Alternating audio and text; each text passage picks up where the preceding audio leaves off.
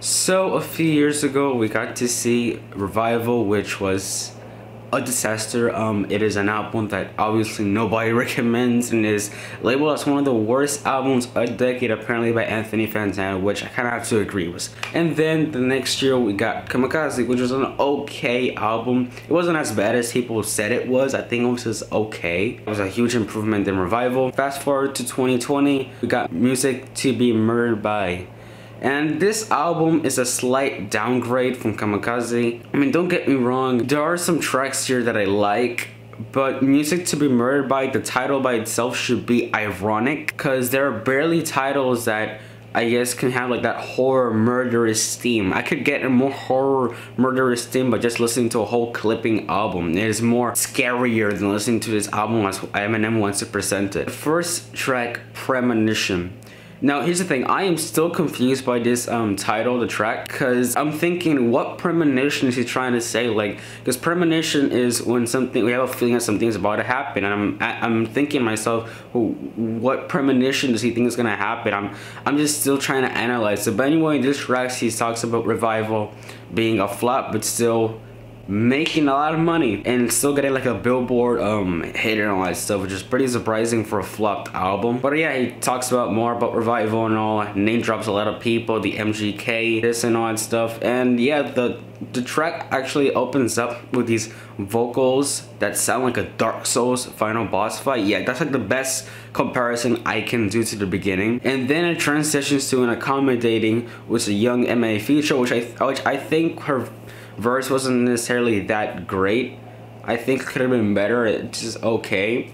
But really the thing that saves the track here is Eminem with his rapid flow and that hard beat that he raps over. Mostly like talking about all the things that is an accommodating for him in that situation and all. And then it transitions into You Gonna Learn with Royce the Nine if I'm correct. And it's actually a pretty um, cool track. I think the thing that I really like about that track was its production because I like when the, the chorus part gets in there. The drum break just gets like stereo, and this fill of reverb and just starts panning left to right and just everywhere really in the vocals as well. I thought it was a pretty cool effect and also like the drum break glitches and all that stuff. Then we got those kind of nights so correct and how can you transition from like a banger track to a crappy track? I'm no offense. The Ed Sheeran um, verse was super generic I felt like it just didn't need to be there and I thought Eminem's lyrics are not even that special in that track. They're talking about, you know, like when uh, Eminem that he goes in different bars and all that stuff and he's drunk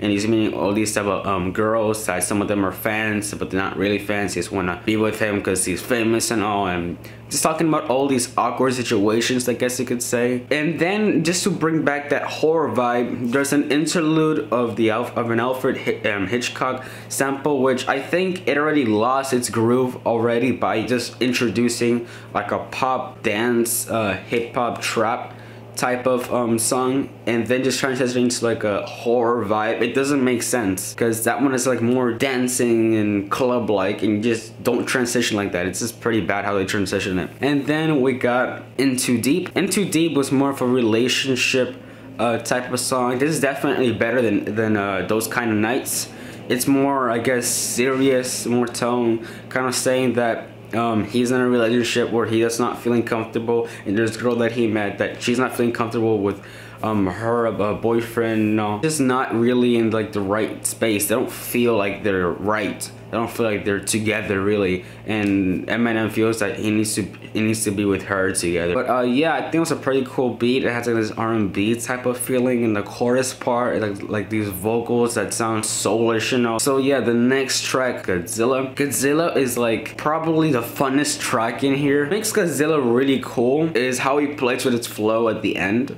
and also the metaphor that he's like a that he's a monster he's gonna uh, swallow it up and all that stuff because I'm pretty sure he probably took some Xannies or something and he feels like he's huge monster. He's high and all that stuff. And yeah, I think the Juice WRLD um, um, chorus I think was okay. It wasn't like his best chorus of all time or anything. I thought it was just okay, but still respect for Juice WRLD out there. Rest in peace. Uh, I like the fast rapping part where she goes basically rap mode and, and apparently there have been some reports that it's actually faster than Rap God, which is surprising. Then transition to Darkness and Darkness I think is a pretty distinct track it's a more serious toned down track with just like um, dark piano playing and I think the Hello Darkness My Old Friend has to be sampled. Uh, we hear Eminem talking in perspective shooter like the Vegas shooter and mostly about his issues, his suicidal issues, depression issues of him taking pills and all. I think it's a pretty refreshing take from Eminem to like just narrate a point of, of view of a shooter. And yeah, I think it's a pretty decent song and it ends with these samples of these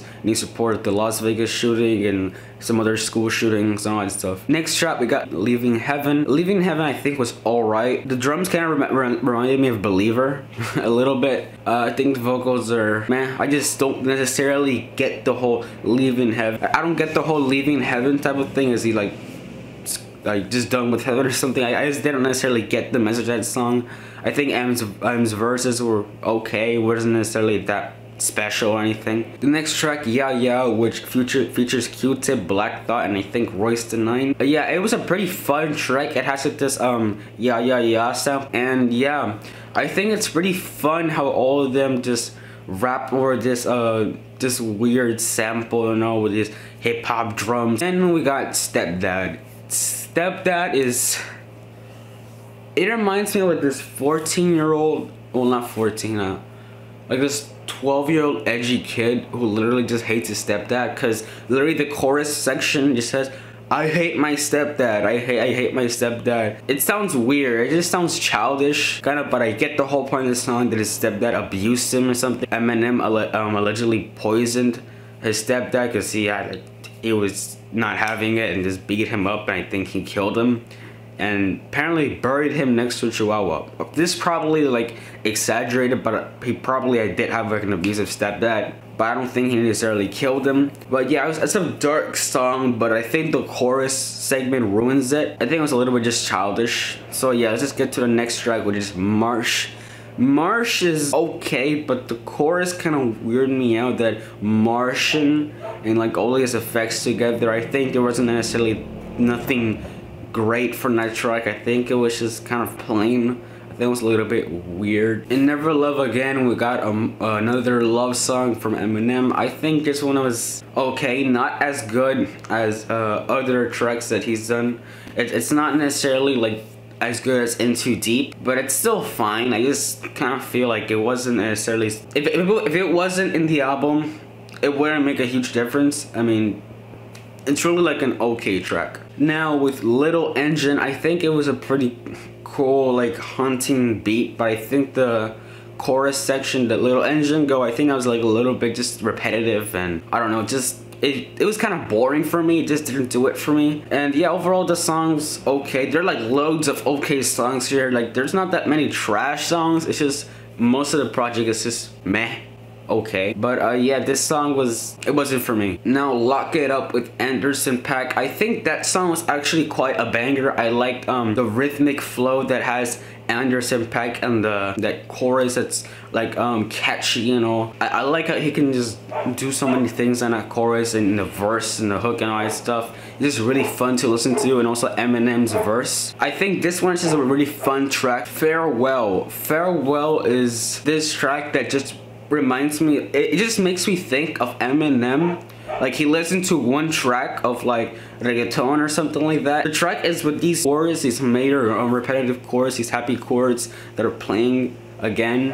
And he sings like in this pattern that reminds me of reggaeton influence and this like synth lead that it just makes it even more obvious. But yeah, I just didn't like that song. It felt generic. It felt just weird for Eminem to rap on. No Regrets was a track that I think was actually pretty decent. I had a, I had a decent uh, Don Toliver uh, chorus, and the Eminem version was pretty good. I just, there's one line that I'm a little bit confused where he apologizes to Tyler Creator and Earl Sweatshirt because he dissed him in Kamikaze.